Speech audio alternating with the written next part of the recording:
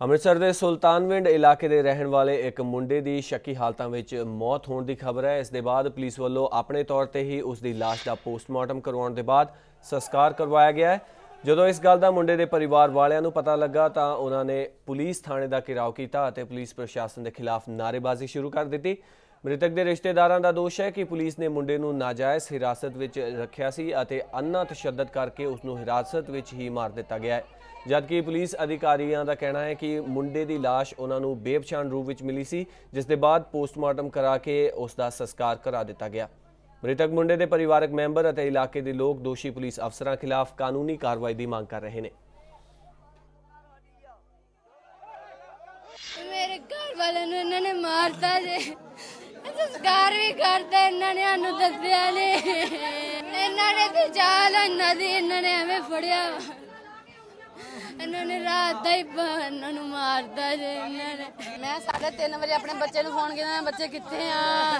ਕਹਿੰਦਾ, ਮੰਮੀ ਘਰ ਦੇ ਲਾਗੇ ਰਾਮ ਦੀ ਦੁਕਾਨ ਤੇ ਖਲੋਤਾ ਵਾਂ। ਕਹਿੰਦਾ, ਆਈ ਨਹੀਂ ਆ। ਮੈਂ ਕਿਹਾ, ਬੱਚਿਆ, ਮੈਂ ਇੱਥੇ ਕਿਸਾਨ ਧਰਨਾ ਲੱਗਾ, ਨਿਕਲ ਨਹੀਂ ਦਿੰਦੇ ਬਾਹਰ। ਕਹਿੰਦਾ, ਮੰਮਾ, ਮੈਂ ਲੈਣ ਵਾਸਤੇ ਆ ਜਾਂਦਾ। ਮੈਂ ਕਿਹਾ ਆ ਜਾ ਇਹਨਾਂ ਨੇ ਅੱਜ ਸਾਰਿਆਂ ਦੇ ਰਾਤ ਇੱਥੇ ਰੱਖਣਾ ਵਾ। ਤਰਲਾ ਕਰਕੇ ਬਾਹਰ ਨਿਕਲਦੀ ਆ ਮੇਰਾ ਪੁੱਤ ਮੈਨੂੰ ਇੱਥੋਂ ਰੋਟੀ ਖਾ ਕੇ ਲੈਣ ਚੱਲਿਆ। ਮੇਰਾ ਪੁੱਤ ਇੱਥੇ ਨਬੋਚ ਲਿਆ ਇਹਨਾਂ ਨੇ। ਪੁਲਿਸ ਵਾਲਿਆਂ ਨੇ ਘੇਰਿਆ ਜੀ ਇੱਥੇ ਹੀ ਪੁਲਿਸ ਵਾਲਿਆਂ ਨੇ ਘੇਰਿਆ। ਇੱਥੇ ਹੀ ਮਾਰ ਦਿੱਤਾ। ਮੇਰਾ ਪੁੱਤ ਭਾਈ ਮੰਝ ਰੋਡ ਤੇ ਸੁੱਟ ਦਿੱਤਾ ਕਿੱਥੇ ਹੈ ਮੇਰੀ ਲਾਸ਼ ਮੈਨੂੰ ਦਿੱਤੀ। ਮੇਰੇ ਸਾਰੇ ਬੰਦੇ ਮਾਈ ਮੰਝ ਰੋਡ ਤੇ। ਅਨਆਇਡੈਂਟੀਫਾਈਡ ਡੈੱਡ ਬੋਡੀ ਮਿਲੀ ਸੀ। ਜਿਹਦੇ ਬਾਰੇ ਐਸਏ ਜਤਿੰਦਰ ਸਿੰਘ ਨੇ ਇਹਦੀ ਕਾਰਵਾਈ 174 ਜੀਆਰਪੀਸੀ ਅਮਲ ਵਿੱਚ ਲਿਆ ਕੇ ਤੇ ਉਹਦਾ ਪੋਸਟਮਾਰਟਮ ਕਰਵਾ ਕੇ ਤੇ ਉਹਦਾ ਸੰਸਕਾਰ ਕਰ ਦਿੱਤਾ। ਠੀਕ ਹੈ, ਜਿਹੜਾ ਕਿ ਮਤਲਬ ਉਹਦੇ ਵਿੱਚ ਕੁਝ ਖਾਮੀਆਂ ਨੇ, ਜਿਹੜੀਆਂ ਖਾਮੀਆਂ ਅਸੀਂ ਵੈਰੀਫਾਈ ਕਰ ਰਹੇ ਹਾਂ ਤੇ ਜਿਹੜਾ ਵੀ ਮੁਲਾਜ਼ਮ ਇਹਦੇ ਵਿੱਚ ਇੱਕ ਦੋਸ਼ੀ ਪਾਇਆ ਗਿਆ, ਉਹਦੇ ਖਿਲਾਫ ਸਖਤ ਤੋਂ ਸਖਤ ਬੰਦੀ ਕਾਨੂੰਨੀ ਕਾਰਵਾਈ ਕੀਤੀ। ਇਸ ਖਬਰ ਤੇ ਵਧੇਰੇ ਜਾਣਕਾਰੀ ਲਈ ਅੰਮ੍ਰਿਤਸਰ ਤੋਂ ਸਾਡੇ ਪੱਤਰਕਾਰ ਰਾਜਨ ਗੁਸਾਈ ਸਾਡੇ ਨਾਲ ਜੁੜੇ ਜੁੜੇ ਹੋਏ ਨੇ। ਉਹਨਾਂ ਨੂੰ, ਉਹਨਾਂ ਦੇ ਨਾਲ ਗੱਲਬਾਤ ਕਰਦੇ ਉਹਨਾਂ ਤੋਂ ਪੁੱਛਦੇ ਹਾਂ ਥੋੜਾ ਚਾਨਣ ਇਸ ਪੂਰੇ ਮਾਮਲੇ ਤੇ ਪਾਉਣਗੇ ਉਹ। ਜੀ ਰਾਜਨ ਪਰਿਵਾਰ ਵਾਲਿਆਂ ਨੇ ਜਿਹੜਾ ਪੁਲਿਸ ਤੇ ਦੋਸ਼ ਲਗਾਇਆ ਹੈ ਕਿ ਪੁਲਿਸ ਨੇ ਉਹਨਾਂ ਨੂੰ ਮਾਰਿਆ ਹੈ। ਕੀ ਕਹੋਗੇ ਇਸ ਪੂਰੇ ਮਾਮਲੇ ਤੇ? ਜੀ, ਬਿਲਕੁਲ ਸੁਪਰੀਤ, ਇਸ ਮਾਮਲੇ ਦੇ ਵਿੱਚ ਕਾਫੀ ਜਿਹੜਾ ਪੁਲਿਸ ਦੀ ਕਾਰਜਗੁਜ਼ਾਰੀ ਹੈ, ਕਾਫੀ ਸੰਦਿਗਧ ਜਿਹੜੀ ਆ ਪਾਈ ਗਈ ਹੈ, ਕਿਉਂਕਿ ਜੇ ਲਵਾਰਿਸ ਲਾਸ਼ ਵੀ ਕੋਈ ਇਹਨਾਂ ਨੂੰ ਮਿਲੀ ਹੈ, ਤੇ ਉਸ ਲਵਾਰਿਸ ਲਾਸ਼ ਨੂੰ ਜਿਵੇਂ ਪੁਲਿਸ ਕਹਿ ਰਹੀ ਹੈ, ਤੇ ਉਸ ਤੋਂ ਬਾਅਦ ਲਵਾਰਿਸ ਲਾਸ਼ ਦਾ ਜਿਹੜਾ ਪੋਸਟਮਾਰਟਮ ਕਰਾਇਆ ਜਾਂਦਾ, ਔਰ ਪੋਸਟਮਾਰਟਮ ਕਰਾਉਣ ਤੋਂ ਬਾਅਦ ਉਸ ਲਾਸ਼ ਦੀ ਸ਼ਨਾਖਤ ਵਾਸਤੇ ਇੱਕ ਜਾਂ ਦੋ ਦਿਨ ਜਿਹੜਾ ਉਹ ਉਹਦੀ ਵੇਟ ਕੀਤੀ ਜਾਂਦੀ ਹੈ, ਉਹਦੀ ਸ਼ਨਾਖਤ ਕਰਾਉਣ ਦੀ ਕੋਸ਼ਿਸ਼ ਕੀਤੀ ਜਾਂਦੀ ਹੈ ਆ, ਜਿੱਥੋਂ ਮਿਲੀ ਹੁੰਦੀ ਲਾਸ਼ ਉਹਦੇ ਆਸ-ਪਾਸ ਦੇ ਜਿਹੜੇ ਇਲਾਕੇ ਨੇ ਉਹਨਾਂ ਦੇ ਵਿੱਚ ਉਹਦੀ ਸ਼ਨਾਖਤ ਦੀ ਕੋਸ਼ਿਸ਼ ਕੀਤੀ ਜਾਂਦੀ ਹੈ। ਇਸ ਤੋਂ ਇਲਾਵਾ ਪੂਰੇ ਜ਼ਿਲ੍ਹੇ ਔਰ ਪੂਰੇ ਪੰਜਾਬ ਦੇ ਵਿੱਚ ਉਸ ਬੰਦੇ ਦੀ ਫੋਟੋ ਭੇਜ ਕੇ ਔਰ ਸ਼ਨਾਖਤ ਦੀ ਪੂਰੀ ਕੋਸ਼ਿਸ਼ਾਂ ਕੀਤੀਆਂ ਜਾਂਦੀਆਂ ਔਰ ਜਦੋਂ ਕੋਸ਼ਿਸ਼ਾਂ ਕਾਮਯਾਬ ਨਹੀਂ ਹੁੰਦੀਆਂ, ਉਸ ਤੋਂ ਬਾਅਦ ਹੀ ਜਿਹੜਾ ਹੈ ਪੁਲਿਸ ਅਹ, ਲਾਸ਼ ਦਾ ਜਿਹੜਾ ਅੰਤਿਮ ਸੰਸਕਾਰ ਕਰਦੀ ਲੇਕਿਨ ਇਸ ਮਾਮਲੇ ਦੇ ਵਿੱਚ ਬਿਲਕੁਲ ਉਲਟ ਕੀਤਾ ਗਿਆ ਜਿਹੜੀ ਅਹ, ਮਿਲੀ ਉਹਦਾ ਪੋਸਟਮਾਰਟਮ ਕਰਾਇਆ ਉਸ ਤੋਂ ਬਾਅਦ ਉਹਦਾ ਜਿਹੜਾ ਅੰਤਿਮ ਸੰਸਕਾਰ ਦੀ ਜਿਹੜੀ ਪੁਲਿਸ ਨੇ ਛੇਤੀ ਕੀਤੀ ਜਲਦਬਾਜ਼ੀ ਕੀਤੀ ਉਹ ਜਿਹੜੀ ਘਟਨਾ ਹੈ ਇਹਨੇ ਕਿਤੇ ਨਾ ਕਿਤੇ ਪੁਲਿਸ ਦੀ ਕਾਰਵਾਈ ਨੂੰ ਜਿਹੜਾ ਕਾਰਵਾਈ ਤੇ ਸਵਾਲੀਆ ਨਿਸ਼ਾਨ ਜਿਹੜਾ ਉਹ ਖੜਾ ਕੀਤਾ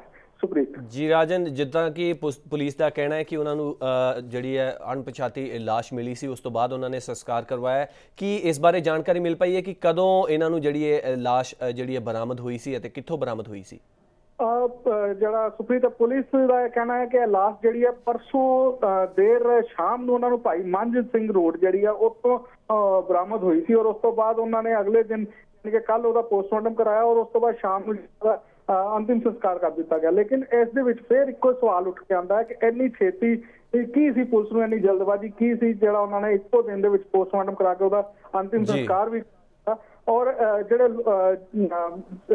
ਤਿੰਦਰ ਸਿੰਘ ਜਿਹੜੇ ਮੁੰਡੇ ਦੀ ਮੌਤ ਹੋਈ ਹੈ ਜਿਹਦੀ ਲਾਸ਼ ਪੁਲਿਸ ਕਹਿੰਦੀ ਹੈ ਕਿ ਉਹਨਾਂ ਨੂੰ ਬਰਾਮਦ ਹੋਈ ਸੀ ਸ਼ੱਕੀ ਸ਼ੱਕੀ ਹਾਲਾਤ ਦੇ ਵਿੱਚ ਉਹਦੇ ਘਰ ਵਾਲਿਆਂ ਦਾ ਕਹਿਣਾ ਹੈ ਕਿ ਉਹ ਸ਼ਾਮ ਨੂੰ 3 ਵਜੇ ਆਪਣੀ ਮਦਰ ਜਿਹੜੇ ਸਰਕਾਰੀ ਡਿਪਾਰਟਮੈਂਟ ਦੇ ਵਿੱਚ ਕੰਮ ਕਰਦੇ ਨੇ ਉਹਨਾਂ ਨੂੰ ਲੈਣ ਲਈ ਘਰੋਂ ਨਿਕਲਿਆ। ਔਰ ਘਰੋਂ ਨਿਕਲਣ ਤੋਂ ਬਾਅਦ ਉਹ ਉਹ ਅਹ, ਸੰਦਿਗਧ ਹਾਲਾਤਾਂ ਦੇ ਵਿੱਚ ਗਾਇਬ ਹੋ ਗਿਆ। ਇਹ ਸਾਰੀ ਜਿਹੜੀ ਘਟਨਾ ਉਹਦੀ ਵੀ ਜਾਂਚ ਜਿਹੜੀ ਹੈ ਉਹ ਜ਼ਰੂਰੀ ਹੋ ਗਈ ਹੈ।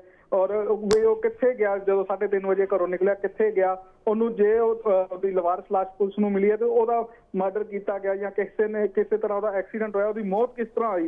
ਇਹ ਸਾਰੇ ਜਿਹੜੇ ਸਵਾਲ ਨੇ ਅਜੇ ਫਿਲਹਾਲ ਪੁਲਿਸ ਅਧਿਕਾਰੀਆਂ ਦੇ ਸਾਹਮਣੇ ਖੜੇ ਨੇ ਜਿਨ੍ਹਾਂ ਦੀ ਇਨਕੁਆਇਰੀ ਕਰ ਰਹੇ ਨੇ ਜਾਂਚ ਕਰ ਰਹੇ ਨੇ ਔਰ ਜਾਂਚ ਤੋਂ ਬਾਅਦ ਹੀ ਇਹ ਸਾਰੇ ਜਿਹੜੇ ਸਵਾਲ ਨੇ ਇਹਨਾਂ ਦੇ ਜਵਾਬ ਮਿਲਣਗੇ ਔਰ ਉਸ ਤੋਂ ਬਾਅਦ ਹੀ ਜਿਹੜੇ ਅਹ, ਇਸ ਦੇ ਵਿੱਚ ਦੋਸ਼ੀ ਪਾਏ ਜਾਣਗੇ ਉਹਨਾਂ ਦੇ ਖਿਲਾਫ ਕਾਰਵਾਈ ਹੋਏਗੀ। ਸੁਪ੍ਰੀਤ। ਜੀ ਰਾਜਨ ਕਾਬਲੇ ਗੌਰ ਹੈ ਕਿ ਪੁਲਿਸ ਦੀ ਕਾਰਗੁਜ਼ਾਰੀ ਤੇ ਕਾਫੀ ਸਵਾਲ ਖੜੇ ਹੋ ਰਹੇ ਨੇ।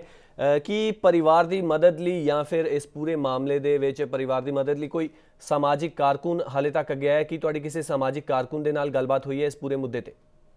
ਜੀ ਸੁਪਰੀਤ ਇਸ ਮਾਮਲੇ ਦੇ ਵਿੱਚ ਅਜੇ ਤੱਕ ਸਮਾਜਿਕ ਕਾਰਕੁਨ ਜਾਂ ਕੋਈ ਸਿਆਸੀ ਕਾਰਕੁਨ ਤੇ ਸਾਹਮਣੇ ਨਹੀਂ ਆਏ, ਲੇਕਿਨ ਇਲਾਕੇ ਦੇ ਜਿਹੜੇ ਲੋਕ ਨੇ, ਉਹ ਕਾਫੀ ਗੁੱਸੇ ਦੇ ਵਿੱਚ ਨੇ। ਉਹ ਲੋਕ ਜਿਹੜੇ ਨੇ ਪਰਿਵਾਰ ਦੇ ਨਾਲ ਬਿਲਕੁਲ ਖੜੇ ਨੇ। ਤੁਸੀਂ ਤਸਵੀਰਾਂ ਵੀ ਵੇਖ ਰਹੇ ਹੋ। ਰਾਤ ਪੂਰੀ ਰਾਤ ਉਹ ਪੁਲਿਸ ਥਾਣੇ ਦੇ ਬਾਹਰ ਖੜੇ ਰਹੇ ਨੇ ਔਰ ਪੁਲਿਸ ਦੇ ਖਿਲਾਫ ਉਹਨਾਂ ਨੇ ਪੂਰੀ ਤਰ੍ਹਾਂ ਨਾਅਰੇਬਾਜ਼ੀ ਕੀਤੀ। ਇੱਥੋਂ ਤੱਕ ਕਿ ਜਿਹੜੇ ਮਹੱਲੇ ਦਾ ਕੋਈ ਇੱਕ ਮਹੱਲੇ ਦਾ ਪ੍ਰਧਾਨ ਸੀ ਜਿਹੜਾ ਉਹ ਲੋਕਾਂ ਨੂੰ ਸ਼ਾਂਤ ਕਰਨ ਲਈ ਪਹੁੰਚਿਆ ਪੁਲਿਸ ਦੀ ਅਹ, ਪੈਰਵਾਈ ਕਰ ਰਿਹਾ ਸੀ। ਉਸ ਬੰਦੇ ਨੂੰ ਵੀ ਲੋਕਾਂ ਦੇ ਗੁੱਸੇ ਦਾ ਸ਼ਿਕਾਰ ਹੋਣਾ ਪਿਆ। ਲੋਕਾਂ ਨੇ ਉਹਦੇ ਉਹਦੇ ਨਾਲ ਮਾਰ ਕੁਟਾਈ ਕੀਤੀ ਔਰ ਉਹਨੂੰ ਮੁਕ- ਦੌੜਨ ਤੇ ਮਜਬੂਰ ਕਰ ਦਿੱਤਾ। ਫਿਲਹਾਲ ਕਿਸੇ ਦਾ ਕੋਈ ਵੀ ਸਮਾਜਿਕ ਕਾਰਕੁਨ ਜਾਂ ਕਾਰਕੁਨ ਹਜੇ ਤੱਕ ਪਰਿਵਾਰ ਦੇ ਸਾਹਮਣੇ ਨਹੀਂ ਆਇਆ। ਹਾਂ ਇਲਾਕਾ ਵਾਸੀ ਨੇ ਉਹ ਬਿਲਕੁਲ ਇਸ ਨਾਲ ਮੋਢੇ ਨਾਲ ਮੋਢਾ ਲਾ ਕੇ ਸੁਪਰੀਤ ਜੀ ਰਾਜਨ ਤਾਜ਼ਾ ਸਥਿਤੀ ਕੀ ਬਣੀ ਹੋਈ ਹੈ ਕਿ ਥਾਣੇ ਦਾ ਘਿਰਾਓ ਹਾਲੇ ਵੀ ਜਾਰੀ ਹੈ? ਸੁਪਰੀਤ ਫਿਲਹਾਲ ਥਾਣੇ ਦਾ ਘਰਾਓ ਜਾਰੀ ਹੈ ਲੇਕਿਨ ਅਧਿਕਾਰੀਆਂ ਨੇ ਆਪਣੇ ਲੈਵਲ ਤੇ ਘਰ ਵਾਲਿਆਂ ਨੂੰ ਮਨਾ ਲਿਆ ਔਰ ਜਾਂਚ ਜਾਰੀ ਜਾਰੀ ਹੈ ਔਰ ਉਹਨਾਂ ਨੂੰ ਇਹ ਵੀ ਆਸ਼ਵਾਸਨ ਦਿੱਤਾ ਗਿਆ ਹੈ ਕਿ ਜਦੋਂ ਜਾਂਚ ਦੇ ਵਿੱਚ ਜਿਹੜਾ ਵੀ ਦੋਸ਼ੀ ਪਾਇਆ ਗਿਆ ਉਹਦੇ ਖਿਲਾਫ ਜੀ। ਕਾਰਵਾਈ ਕੀਤੀ ਜੀ ਜਾਏਗੀ ਰਾਜਨ ਬਹੁਤ ਬਹੁਤ ਧੰਨਵਾਦ ਇਸ ਪੂਰੀ ਜਾਣਕਾਰੀ ਦੇ ਲਈ। ਖਬਰਾਂ ਦੀ ਦੁਨੀਆ ਵਿੱਚ ਆਓ। ਸਾਡੇ ਨਾਲ ਕਦੇ ਵੀ ਤੇ ਕਿਤੋਂ ਵੀ ਜੁੜੋ। ਆਪਾਂ ਮਿਲਾਂਗੇ ਫੇਸਬੁੱਕ ਤੇ। ਅਸੀਂ ਦਿਖਾਂਗੇ YouTube ਤੇ। ਸਾਨੂੰ ਫੋਲੋ ਕਰੋ Twitter ਤੇ। ਖਬਰਾਂ ਨਾਲ ਜੁੜੇ ਰਹੋ ਦਿਨ ਰਾਤ।